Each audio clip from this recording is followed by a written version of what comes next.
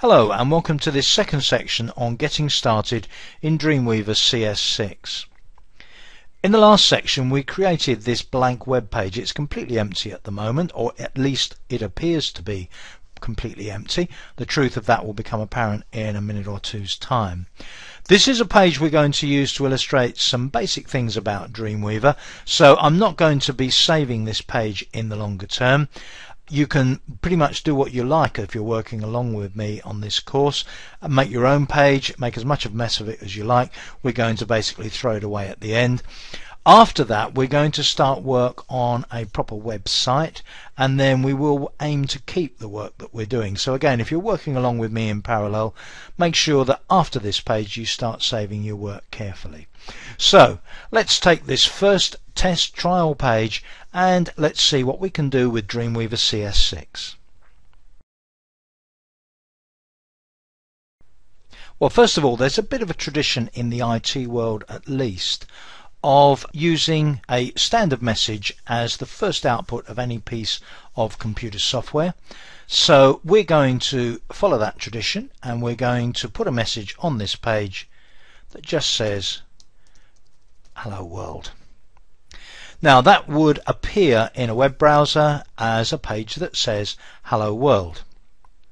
Now with that text on the page and note that if you look at the buttons up here, there are three there called Code, Split and Design and the Design one is pressed. This is Design View. This means this is, more or less anyway, what a user would see. Now that's not quite true as I'll show you in a moment, but for the purposes of the current exercise, think of that as what people see. Now if I select that text, Notice that at the bottom in the Properties panel, the thing that's also sometimes referred to as the Property Inspector or the Properties Inspector, I have here a number of controls. All of these things relate to HTML. And HTML, as we'll see later on, which stands for Hypertext Markup Language, is one way of formatting what we've put on the page. Now if I click on the format button, paragraph right drop down there, I have a number of available what are called styles. And one of the styles is heading 1.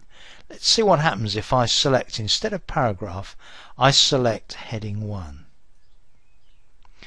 What happens is that my statement, hello world, takes on a completely different format. It's now bold, it's much larger, the font, can't actually see there what font is used, but I'll explain that to you later on. But one of the important things here is that we can choose from the available formats heading 1, let's try heading 2, let's try heading 3. As you see each of them achieves a different effect. Now although you can't see on the page how that's done you can see in the properties panel which format we've chosen. If I choose the code button on the left and click that instead, we get a much better idea of what's going on here.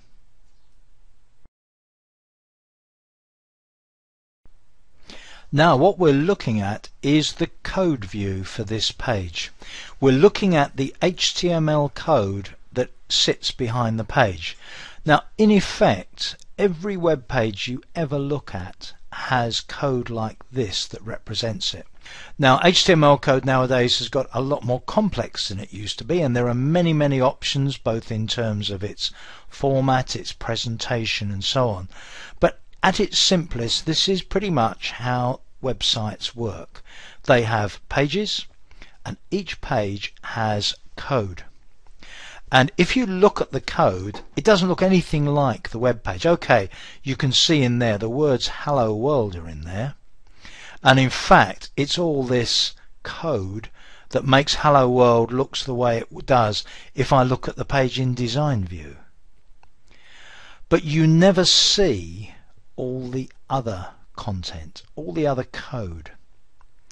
Now to give you an example of how all this code works, let's go back to Hello World and you'll notice that just in front of it there's a left bracket, a left um, chevron I should say, H3 and a right angle bracket or chevron and then after it the same but with a slash. Now as we're going to see in more detail later on these are called HTML tags. There's an, a sort of start H3 which is the shortcut for heading 3 and there's an end H3 which is the sort of shortcut for end heading 3 and what this statement here really says is heading 3 starts here we've got the words hello world and then heading 3 ends.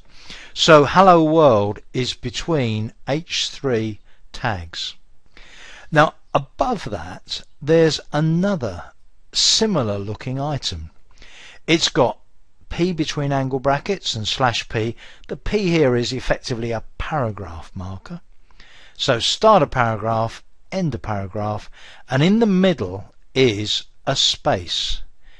Ampersand NBSP semicolon. That's the code for a space. You'll see that a lot.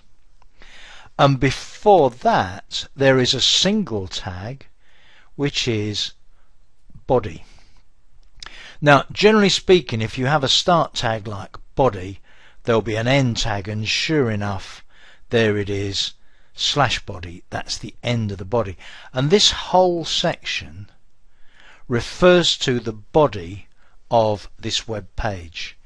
Body starts, we have a paragraph that's just got a space in it, which is basically the empty line that I put in. Then we've got an H3 tag that says hello world then we end the body of the page and that is a whole body section of an HTML page. Okay, I've taken a little diversion here to the MSN website. And if you are on this or any other website, you right click on the page and click on View Source. This is Internet Explorer, by the way your own browser will have an equivalent of this, you can see the source for that web page. Now, it starts right at the top, doctype HTML. It has exactly the same sort of codes, but as you can see, there's rather a frighteningly large amount of it. Now a lot of this code is actually generated automatically. Somebody hasn't sat there and typed it all in character by character, which is quite reassuring in a way, but it still works on the same principle that there are these HTML codes. There's a div tag there and then you'll find an equivalent slash div further down. We'll talk about several of these tags later on, but it is basically still the case that when you're looking at a web page, you're looking at something that's represented by HTML code. So here we are back at our own web page. The code on the page begins with this type of statement and it's actually the start of HTML code. I'll talk a little bit about what this statement, the doctype HTML thing at the moment means later on. The important thing at the moment is that there is a tag here HTML which denotes the start of the HTML code itself and the last tag is therefore a slash HTML. So the way the tags work is in a nested fashion. We've seen the body section there. There is also a head section. And within the head section, you can see the tags head and slash head, we will embed certain very important pieces of information. And I'm going to talk about those later on as well. The only one at the moment that's of interest is the title of the document. Now the title of the document is not the file name of something, it's a title which not only is significant to a document or a website itself, but also has a significance for things like search engines. So the title is something to really understand, and again, that's one for later on. The title of the page is displayed in this box at the top here. It's currently called Untitled Document. And in fact, if I wanted to change the title of the page, I could change it in either place. So, for instance, I can just in here type test page as the title. Now watch what happens if I click further down the page. Nothing happens. Supposing I change the H3 tags to H2, H2, but click on refresh and watch what happens.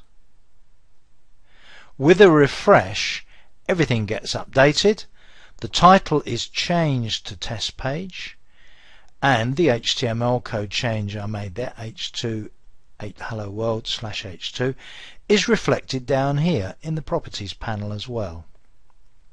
So I can in fact change the things in either place, either in the HTML code itself or where there is a facility to change it elsewhere. So for instance, if I wanted to change the title again, I could change it here and it would be changed in the HTML code as well. So they are our two very important views of our page. Code view, which shows us all of the HTML code that's actually making the page look as it does and in some cases do what it does. And then design view which shows us pretty much what it looks like but doesn't give us an idea of what's going on behind the scenes or under the hood. Now there are a couple of other views which are also very important, but I want to mention them now because I think it's important to see why neither design view nor code view on their own or even together can tell the whole story. One of the things you will want to be able to do is to test the pages of your site. As you start to get some action going on the site, you want to be able to see what it's going to look like for real. And to a large extent you can test this using what's called live view. Now live view, if I click on live view for this page now, there's the button. Live view in this case doesn't really seem to show anything different to design view. But that's because there's nothing on this page yet for live view to show. If I had something like a link, a link to another page or another site, I would need to be in live view for that link to work.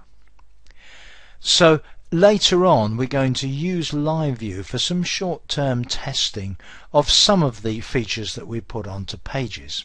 Let me switch live view off for now. The other option which you have, which is very important, is to be able to preview in a browser. And this is the feature whereby you actually look to see what a page is going to look like in one of a selection of browsers. Internet Explorer, Firefox, Google Chrome or whatever. Now it's very important to test your pages in a number of different browsers and particularly with Dreamweaver CS6 some additional features for previewing pages also enable you to test your pages on different types of device. Now this whole subject needs part of the course for itself so we're going to come back to that in a lot of detail later on. So here is our first web page. The window it's in with the tab on it here is called the document window. So this is the whole of this thing. And we normally refer to this along here with the code split, design live buttons and so on as the document bar. This also has things like the multi-screen and preview buttons various other controls we're going to be looking at later on. And down at the bottom further controls some status information information about magnification on the page various tools we can use and a resume of where we are in terms of HTML tags. All things for later on. But basically when we're working on a page we'll normally be looking at something like this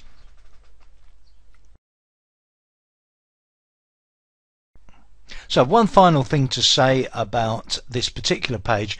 Normally when you're working on web pages, the first thing you would do would be to save a new web page so that you minimize the chance of losing your work. The saved name of a page is what's displayed on the tab here. This hasn't yet been saved, it's just got a default name of Untitled 1. To save a page, click on File, and then one of the options there is Save As. I'm not really going to bother about this page but what I would normally do is browse to the particular website I'm working on possibly a folder within that website and then I would save the page with an appropriate name which will very often be a name with an HTML extension although depending on various other factors that we will again talk about later on there may be a different extension it could be something like ASP for a particular type of page as well. So we'll come back to file naming, how we save files, where we put them later on. But just bear in mind that normally the first thing we're going to do with a new page is to save it with the right sort of name, the right sort of extension in the right sort of place. So there we are, that's been a bit of a lightning quick tour of the main features of Dreamweaver CS6 because it's very important to get started on doing some practical work. In the next section, we're actually going to start building a website. I hope you've got ideas together already for the website you're going to build. Try not to be too ambitious to begin with, but bear in mind you can always make things more complex and put more functionality in later on. So, I'll see you in the next section.